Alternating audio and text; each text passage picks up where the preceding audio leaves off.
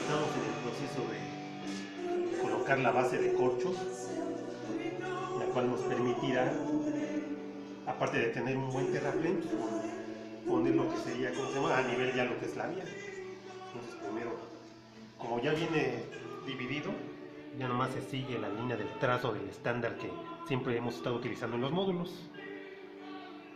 Lo vamos colocando.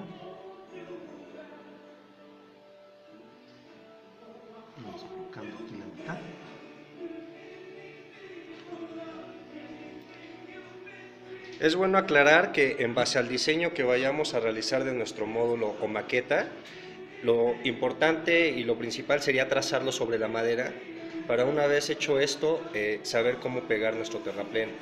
Ya sea en este caso que es el de la línea que HO de México maneja, o en el caso de el rollo de corcho que podemos conseguir en Lumen o en Office, en Office Depot.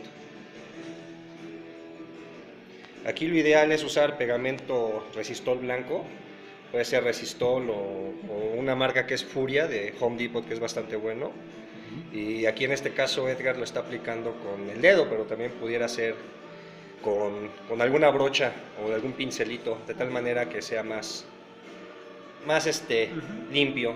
Y aquí lo estamos viendo que lo está extendiendo con un pedazo de, de foamy o inclusive un pedazo de corcho puede servir para extenderlo.